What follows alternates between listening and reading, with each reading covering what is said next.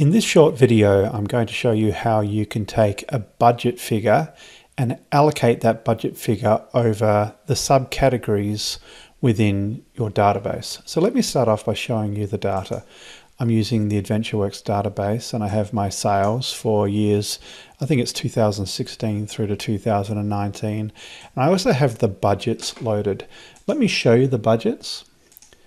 And the budgets are at the month level and also the category level. So the key point is that I don't have any budgets at the subcategory level, but I'm going to show you how you can use the Inforiver inbuilt formula language to visually allocate those budgets down to the subcategories. All right, so let me come over here and I'll start off by bringing in the product category and also subcategory. I'm using the professional version for this demo. And I'm also going to bring in the sales amount. And at this point in time, the sales amount is for all years.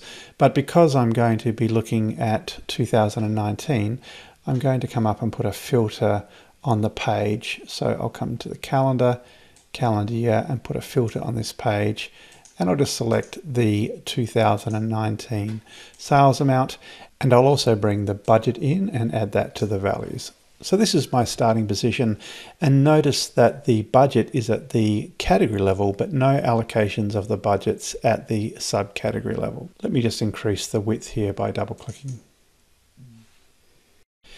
Now even though I haven't allocated my budget down to the subcategory level, what I'm going to do is I'm going to use the proportion of sales in 2018 to determine the best way to allocate that budget. So I have written a measure in this case. So if I come over here, you'll see that I have this measure called sales 2018. So a little bit of DAX here, but this is pretty simple DAX.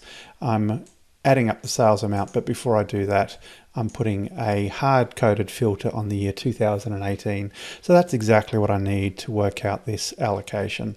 So I'll bring the sales 2018 into the visual. And there I have the sales, which is broken down by category and subcategory. And I'm going to use this column to work out what percentage of sales should be allocated for each of the budgets.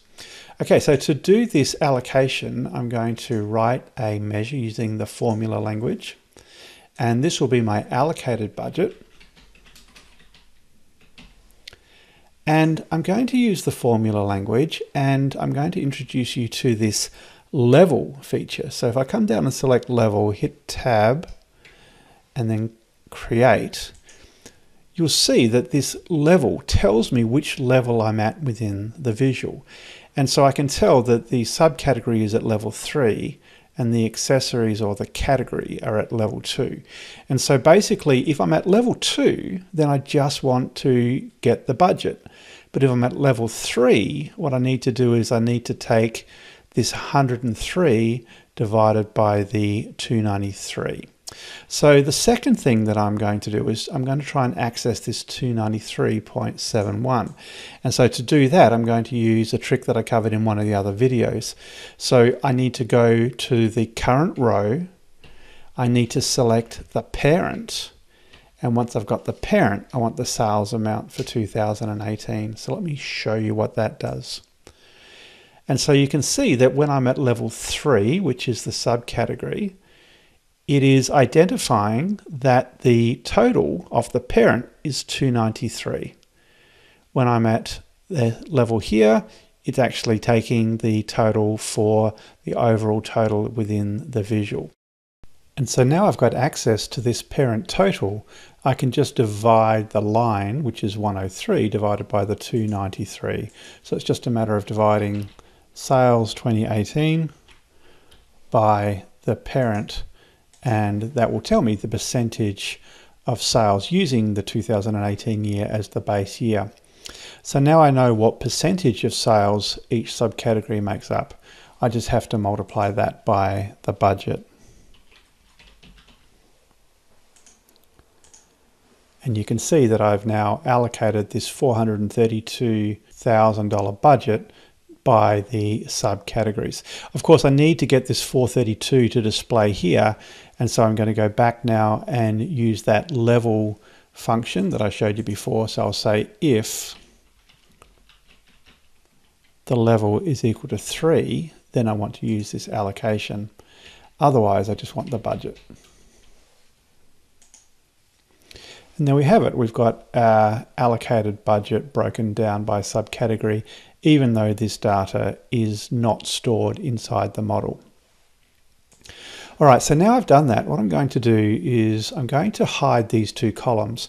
Now I can't remove them from the visual because this is a visual level formula and these two columns must be in the visual. But I can come up here and I can just turn them off so that they're not displayed. They're used in the calculation, they're just not displayed. Now that I've done that, I can go ahead and do a variance to budget and a percentage variance to budget. So I'll go ahead and do that. Another formula. This will be variance to budget will just simply be the sales amount. And I need to subtract the allocated budget that I calculated before. And there's my variance to budget. Once I've done that, I'll add another one, which will be the percentage variance to budget.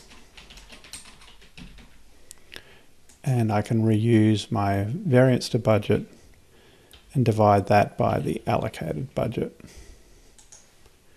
Okay, so they're the formulas that I need.